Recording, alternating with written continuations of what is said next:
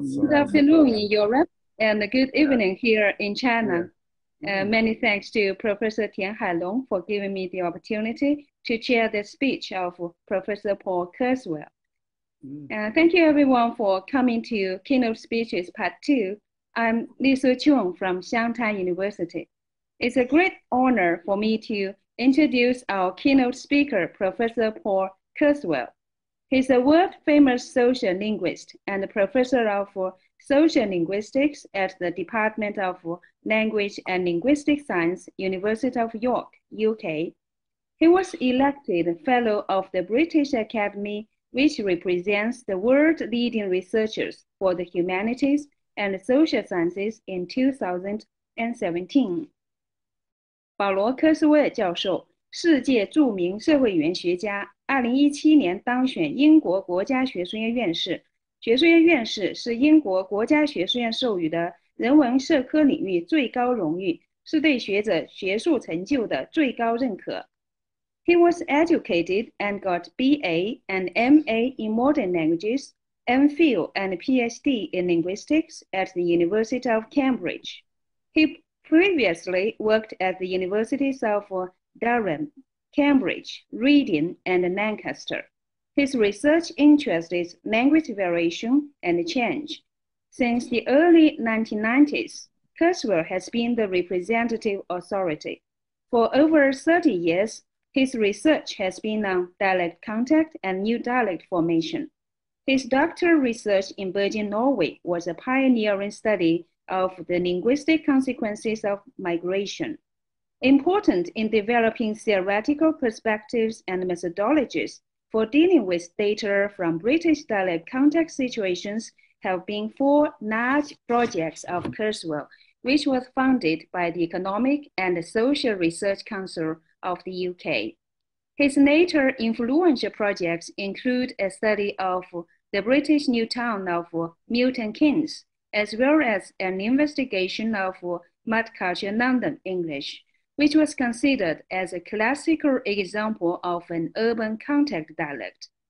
He's currently developing interest in historical social linguistics as well as social linguistic issues in West Africa. Professor Kerswill organized the first UK language variation workshop at Reading in 1997 and has contributed a lot to the development of social linguistic research in the UK, which is already at the top of the world. William Labov introduced the Kerswill studies of new speech communities as the essential readings in the area of social linguistics in an interview by Matthew Gordon in 2006. When William Labov was awarded the Medal for Linguistics by the British Academy in 2015, he twice mentioned Kerswill's great contributions to push forward social linguistics researches in his award speech. So we are very, very lucky to have invited Professor Paul Kerswill here, and it's my extremely great pleasure to welcome Professor, Professor Kerswill to talk about language, migration, and the nation in Europe and China. Please. Thank you very much, Professor Lee. Yeah. Thank you. Right. Okay. Right, and I'm going to share my screen, and please let me know if you don't see anything when once I've done this. Um, have to find the right screen, that one. I think that is correct. Um, right, can I check with you that this is okay? Yeah. Yes. Okay, good. Right. Yes. Right, so my topic is uh, language migration and the nation in Europe and China, fragmentation uh, and integration. So I want to cover these, these various ideas, um, trying to contrast Europe and China. That must be a, quite a difficult task. They are both very diverse. Um, and I've only recently been introduced to China as a place to visit in the last three years or so. Anyway, so let me just start with an idea here that, uh, that is often raised in social linguistics, centripetal and centrifugal forces.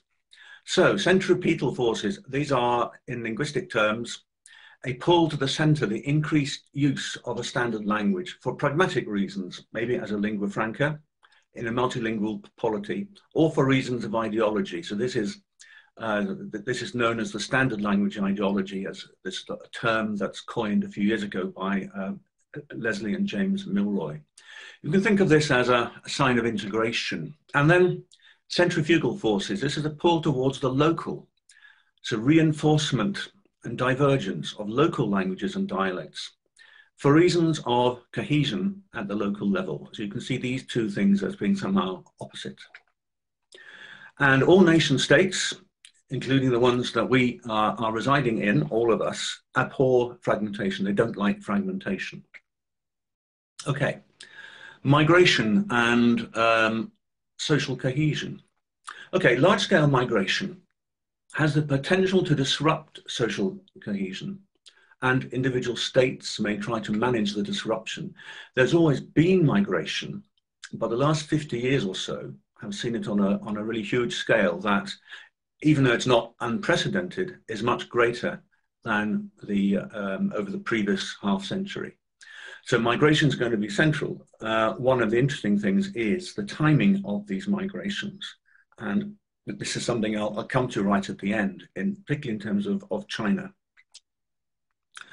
So, migration and language, Europe versus, versus China. So, the question I want to address today is this How does mass migration play out linguistically and socially in two very large multilingual regions of similar size, which nevertheless differ in fundamental ways? You might be surprised that I'm comparing 44 countries with a single country, but demographically, it does kind of make sense.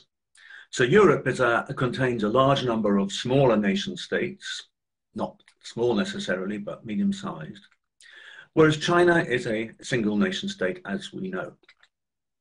Okay, just in case you wondered where these two places are, here we see them on the same map, and you can see that China probably has a larger land area than Europe, or a similar land area to Europe, I would say. Okay, some key data that we need to have before in order to try to understand uh, what, what's happening linguistically in these two regions. Well, so Europe, as I mentioned, contains 44 nation states, population of 741 million. And according to the Encyclopedia of European Languages, there are 275 languages in Europe. In China, we have one state, population one uh, so twice that of Europe, and a similar number of languages. Um, now, this is this is what this is how the ethnologue counts languages. Um, many of these are known in in Chinese linguistics, at least, as dialects. Okay, but let's just stick with this for the time being it shows that the, the amount of linguistic diversity is pretty much the same in both Europe and China. Okay, what about nation building here? So in Europe, um, state formation began before the year 1000 of the, of the Common Era, but was consolidated from the 16th century and mainly complete by the 1870s. And here I, we, we can mention uh, Italy and Germany about 150 years ago, and then much more recently, the, the split of Yugoslavia in the 1990s and the, and the split of uh, the Czech Republic and Slovakia from former Czechoslovakia. So these are things that are still ongoing, but roughly speaking, not much has changed in terms of Europe's borders for 150 years or so. The national languages were already established but standardization of those languages wasn't really complete until the 18th century, or indeed later, and you see standardization still going on in, uh, in the former Yugoslavia, in, in Croatia, um, and the other um, um, current states there. So what about China? Well, China has 3,000 years of spread of, the, uh, of this particular nation, language, and also centralization. And these are critical things because um, this is the, one of the earliest examples of a, of a bureaucracy and a, a substantial uh, civil service with state exams of a kind that still exist and which, of course, exist now in, in other nations as well. And this um, it's been asserted, is what has necessitated writing for record keeping, so early literacy as, as well. Okay, and then much more recently in the 20th, 20th and 21st centuries, um, you, there is also um, language planning. Um, Putonghua was promoted as the official language, I believe, from 1956 or so. So this is a, sort of a, a, people's version of standard Chinese, shall we say. That is, that is the, the ideology behind that spread. Okay, Europe. Okay, I'm not going to talk about each of these countries. Um, is just to show the how many countries there are, uh, roughly 44.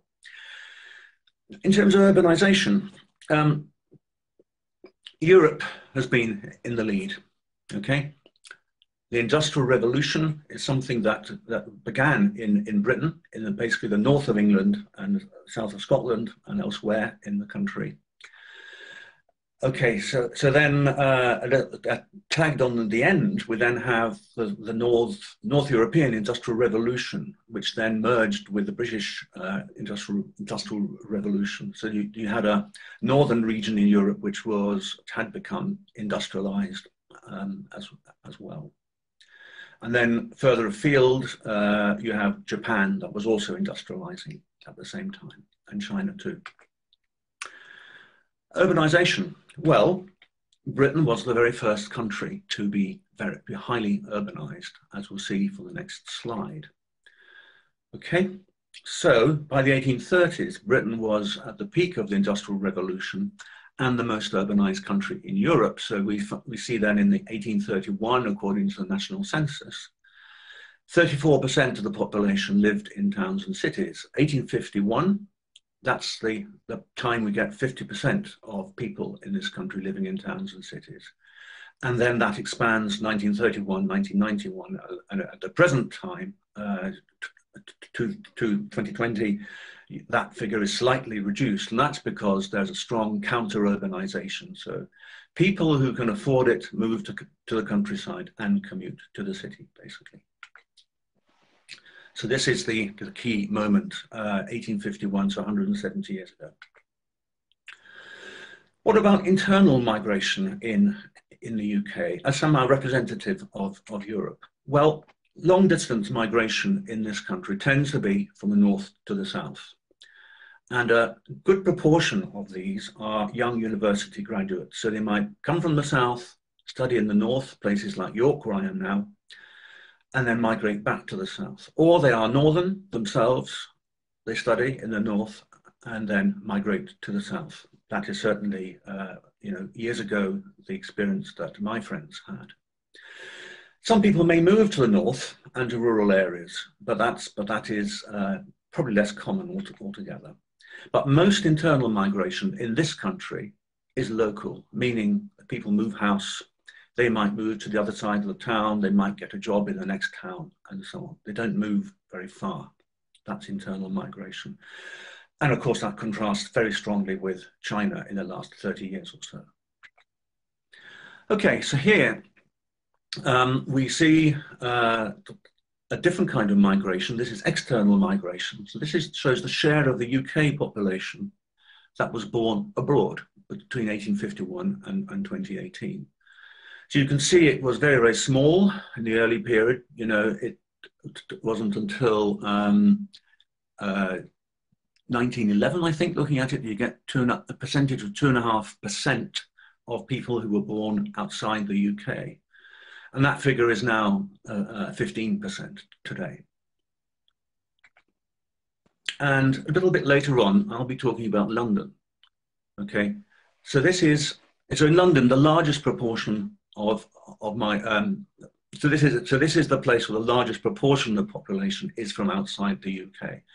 London has a population of around about nine million, um, and of, of them, 37% are born outside the UK. And in fact, this figure is, is higher now than it, than it was in 2011, the time of the last census.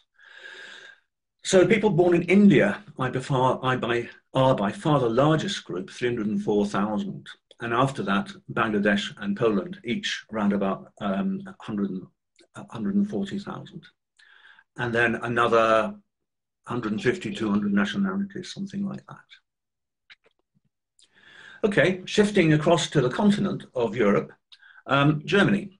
I'm going to show you an age pyramid, and this tells us something about the, um, the people born and bred in Germany, German background, and then people who have a migration uh, background and people who are immigrants.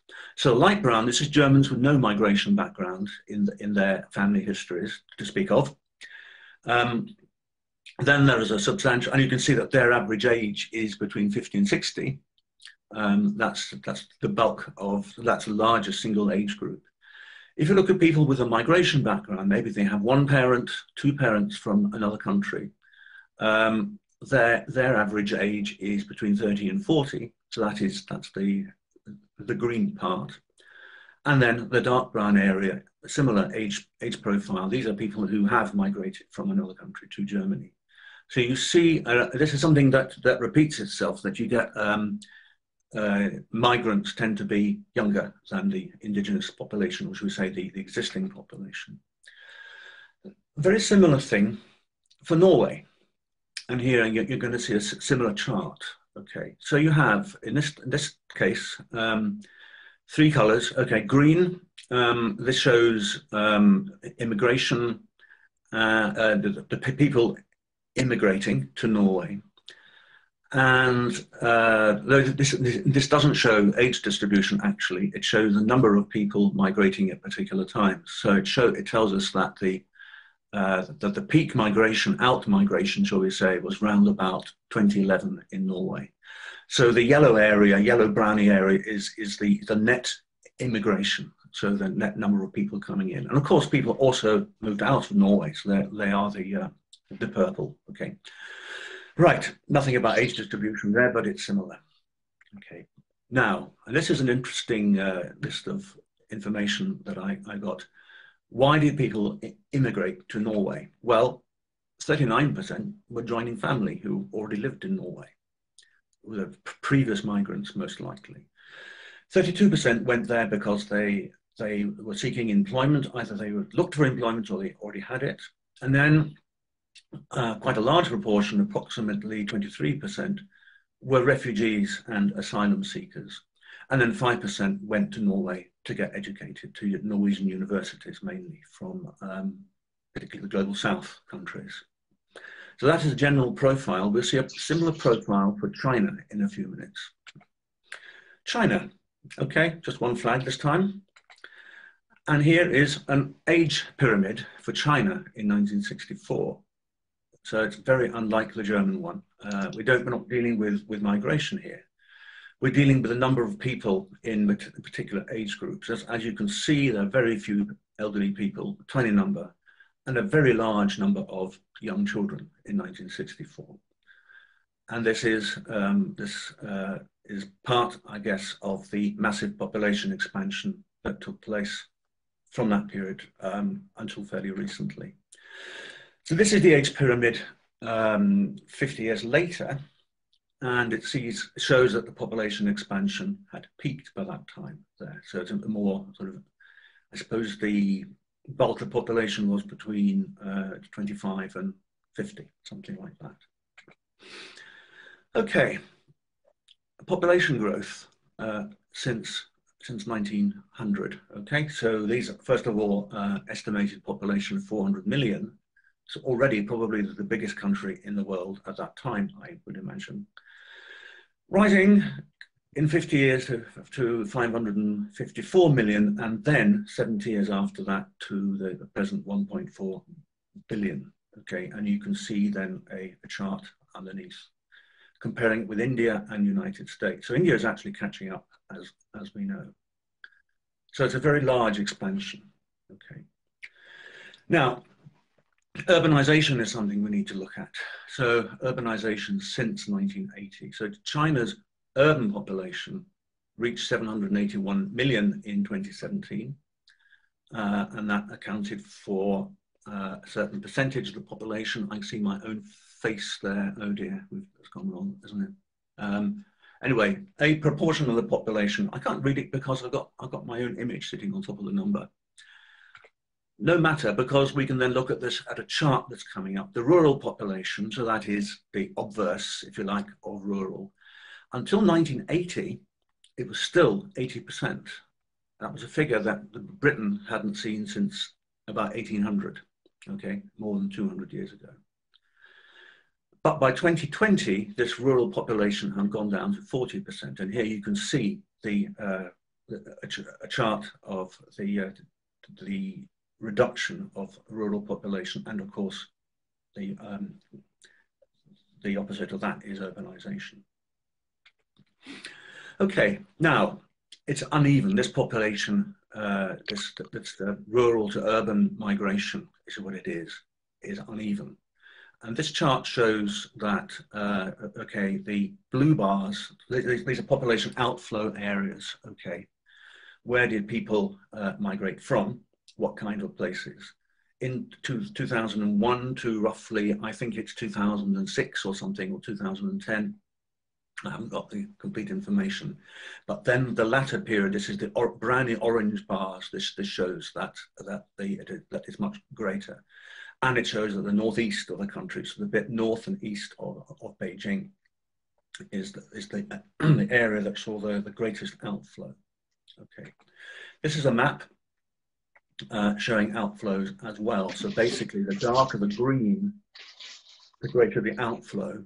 And then if it's more on the red, pinky area or dark brown area, this shows inflow, okay, gain in population through migration. So the uh, it's moved moving towards the coast and Beijing and uh, Tianjin as well, and um, Shanghai, places like that. But more recently, i have I've read, in fact, the migration is going the opposite way into the central inland provinces. Um, as prices get higher in, along the coast and there are more opportunities. So we have very complex, very large migration here. This shows population growth, which obviously is to do with migration, uh, but is also to do with, with natural increase. So we see some of the western uh, provinces, uh, Xinjiang and Tibet, in fact, increasing as well. Right. What did people, what are people doing? The migration, migration migrating populations doing, comparing that with, with the Norwegian case? Well, as you would expect, there's a lot of uh, manufacturing industry in China um, in a way that there isn't in Norway. Um, difficult to compare two such diverse countries, very small versus very large. But, but there's a lot of people in the, in the wholesale and retail and hotel and, and catering. Uh, and then it, there's quite a mix of other things as well. So these are the economic sectors.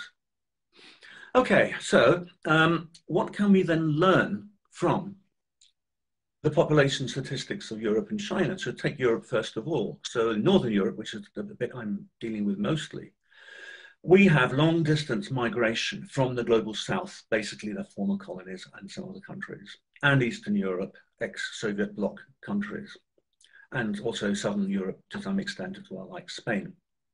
People often came from poor rural backgrounds, and they arrived in areas that were already heavily urbanized. Okay. And this led to an increase in cultural and linguistic diversity in the areas of arrival, like the big cities of Northern Europe. In China, of course, we have a much larger scale of, uh, of migration, unprecedented in size. Um, and the, the push factor here was the massive rise in the rural population, presumably caused by better healthcare, in fact. And we see this as a push factor actually in the 19th century migrations from countries like Norway, that the rural population rose a great deal 150 years ago. And that led to a very, you know, half the population of Norway going to America. Ireland, similarly. So this is a modern day equivalent. Okay, so the southern eastern cities were very attractive to the rural migrants for economic reasons.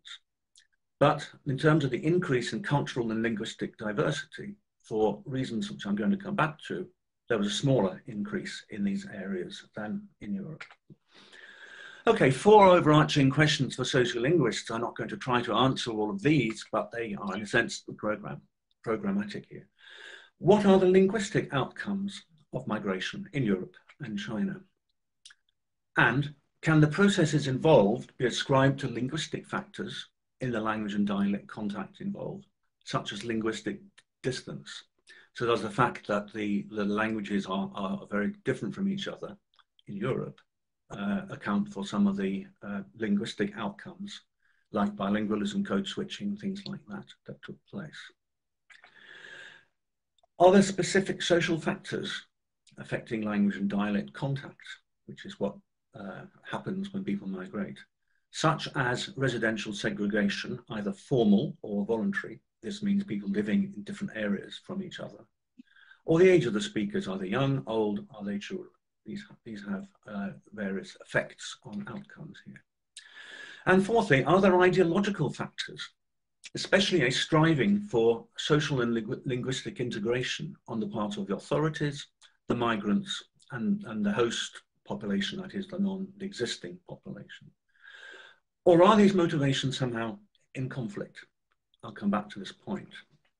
Okay, let's have a look at some uh, dialects now.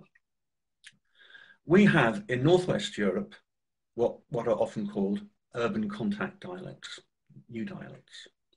We begin in Norway, um, and we find here in Oslo, the capital city, that young people are aware of a way of talking which is used by both second generation immigrant and North and Norwegian descended youth. Okay, so there's a new way of talking that all young people have access to and sometimes use. They will tell interviewees about, uh, you know, that, that, there are words from other languages, the tone is different, there's a har harsh speech with them. These are, these are, these are the way people express their, their awareness of this, these new language varieties. There are slang words from Berber, uh, kaber, which means girls, and there's a there's morpheme mixing as well, and this is one I quite like, which uh, which is composed of the Norwegian prefix drit, which means dirt, um, and then Berber spar, which means good. So that means very good, okay, in, in my correct standard English. It's part of their repertoire, which includes standard Norwegian as well for these, for these young people. In Berlin, we find a lot of lexicon from Turkish. The, the, the, Turkish original Turkish population is is the biggest uh, single group, so there's quite a lot of vocabulary from there. There's some morphological change, some simplification of determiners and grammatical gender, and then in syntax there are some changes as well. So the subject-verb word order um, might change. So where standard German has a verb a verb subject, um, it, it, uh, it ends up as a subject verb. Not, I, I won't explain any more than that. Um, then there are expressions with bare noun phrases instead of prepositions and articles. So you get things like Ich bin Schule, which means I am in school, at school. Should be, or at least it is in standard German, Ich bin in der Schule, I am in the school. And then you have this next expression, Morgen ich gehe Arbeitsamt. So there are two things there. One is the, that the subject and verb are inverted, uh, and then zum, which means to the. So I, tomorrow I'm going to the uh, unemployment uh, office.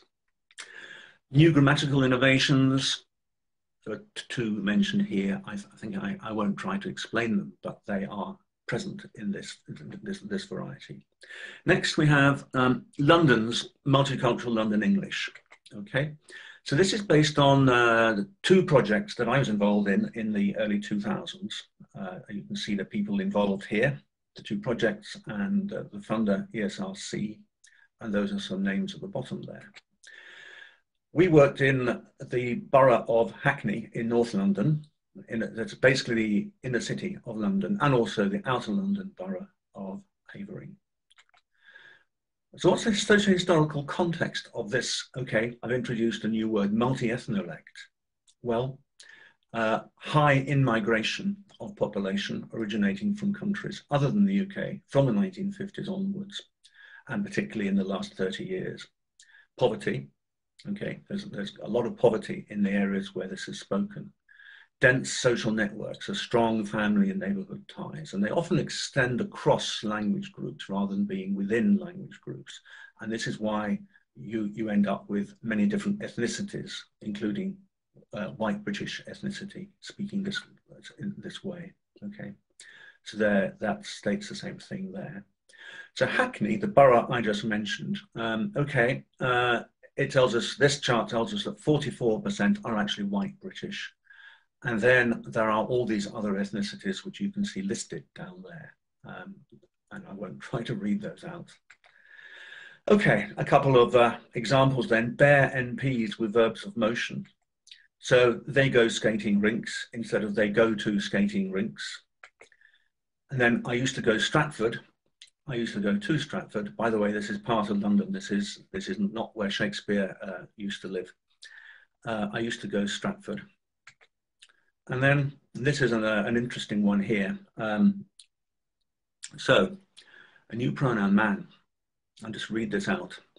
I don't really mind how my girl looks. If she looks decent, yeah. And there's one bit of a face that just looks mashed, yeah. I don't care. It's a personality man's looking at. I'm not even looking at the girl proper like. Okay, so you have man there.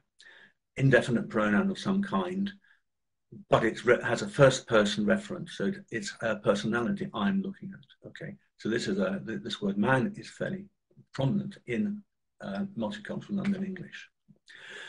What languages have influenced multicultural London English? Well, Caribbean, I spelled that incorrectly, Creoles, ex-colonial Englishes, Africa, India, Caribbean, learner varieties of English, the lo local London vernacular, school varieties like standard English and the teacher's own speech, and then media, so TV, YouTube, Instagram, popular music.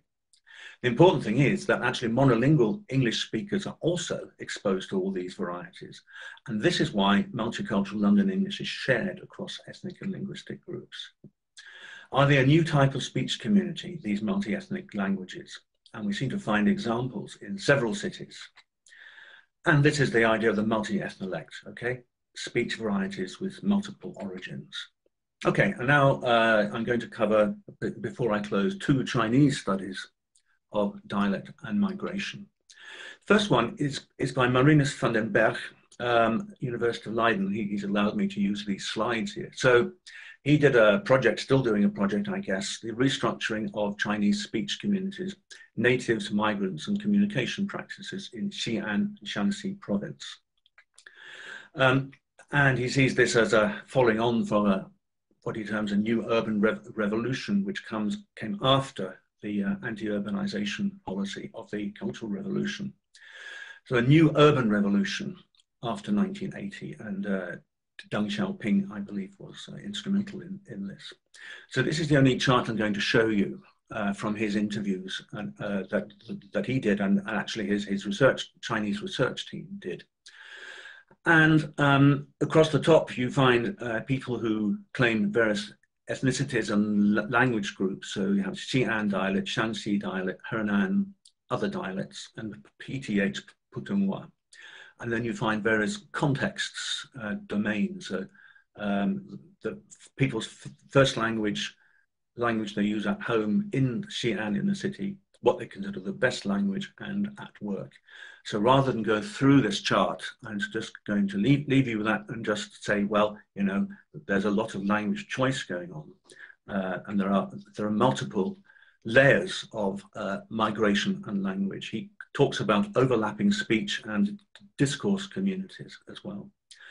Overall, Putonghua is favored at work and other dialects elsewhere. So that is the pattern, and I think that's probably the pattern in, in many cities in, in China as well.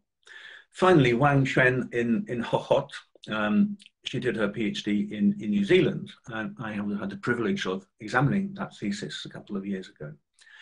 Um, so Hohhot then is, like many cities, uh, an immigrant city, but not recent immigration, 1950s, 1960s immigration.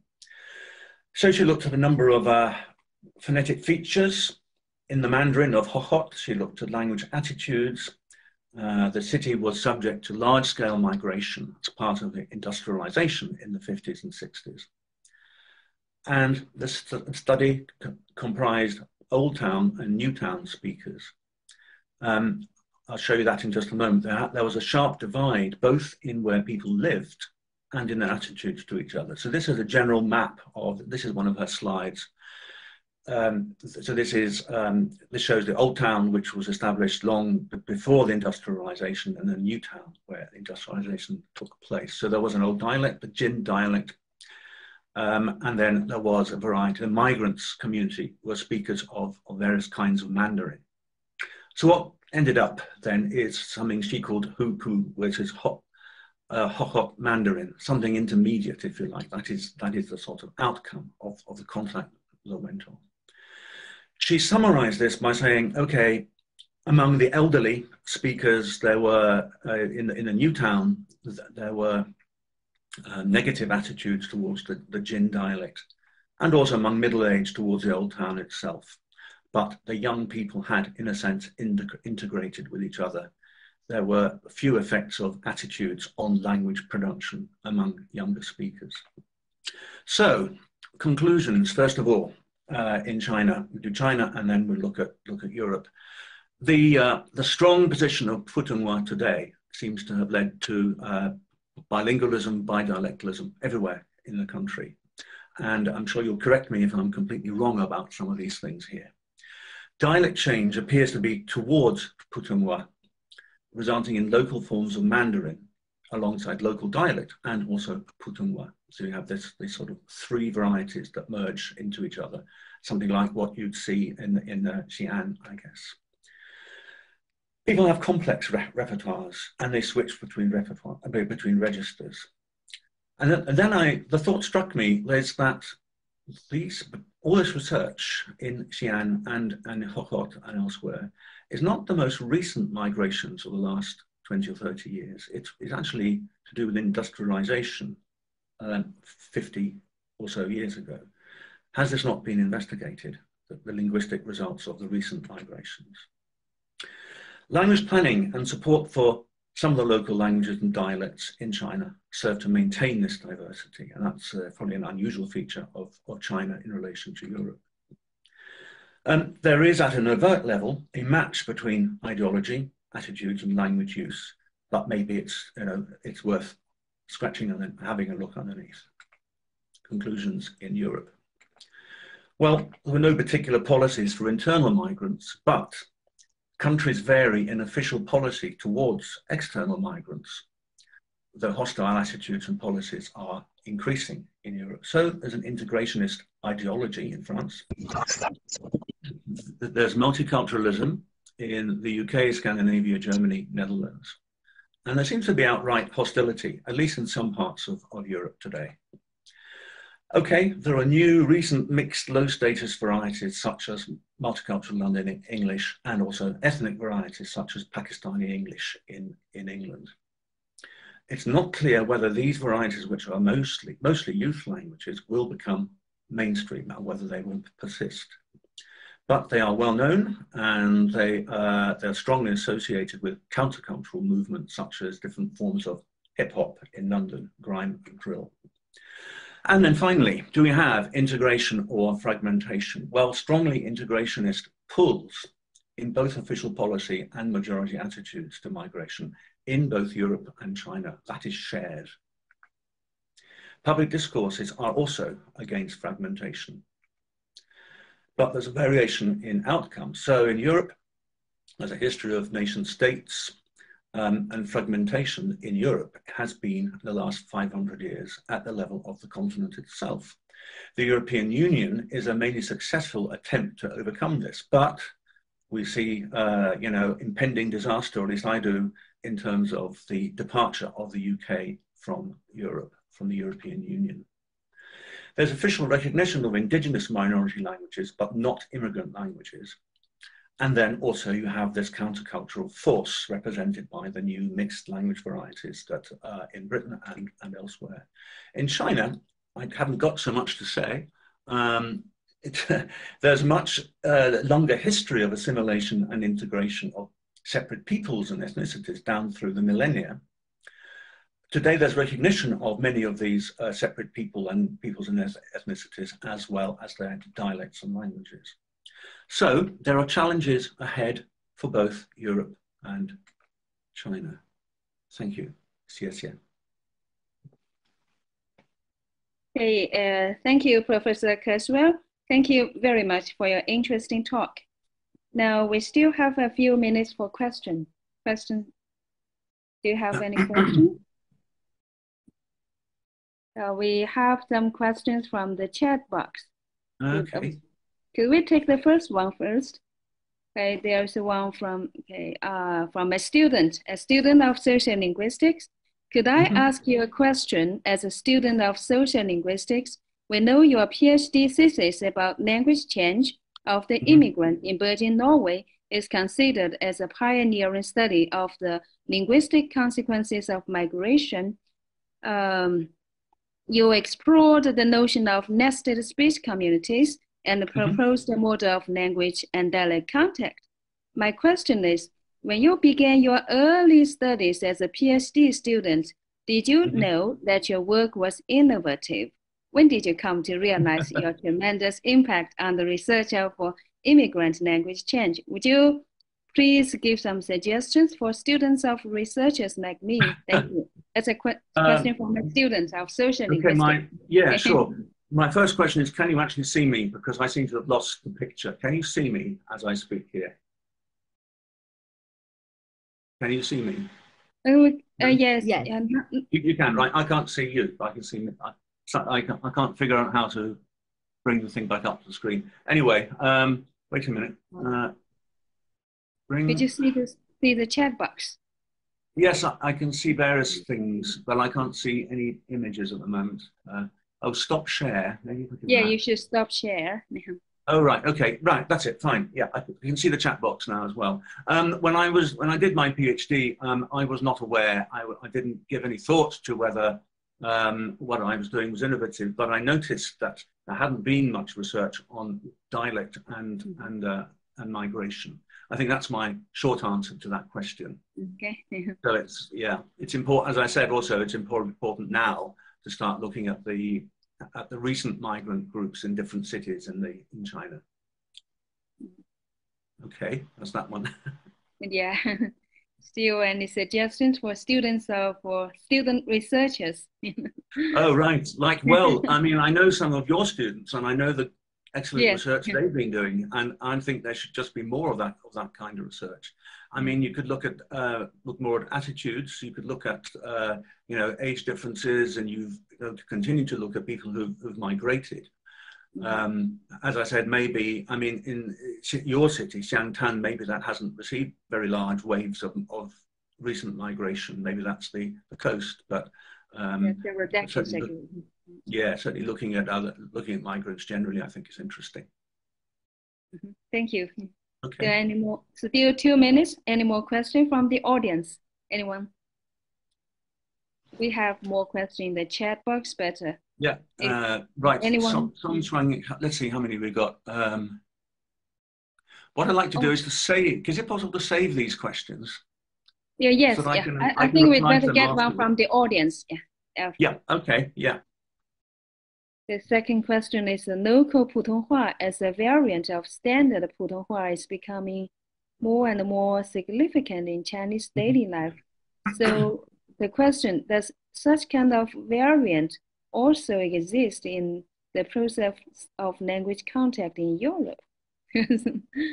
uh, that's a very interesting question. Um, there are very much so. I think there are strong parallels with uh, with this country, with Germany, uh, Italy, that, that, that there are local versions of more or less standard English with strong local accents. I think that is true in, in Britain. Um, in Germany, you have local variants of standard German um, with local accents, particularly in the south of Germany. In Italy, you have very strong local dialects, which they even call languages. And then you have uh, local forms of spoken Italian, which have, which have come up in the last 50 years or so. So the answer is yes, something very similar is going on. Okay, thank you very much. And so time is perfect. I'll save this question for you to answer later. And it's really a, a, great pleasure listening to your wonderful talk. And thanks for your time, Professor Kerswill. Thank you, everybody, for your attendance. Thank, Thank you. Thank you for listening.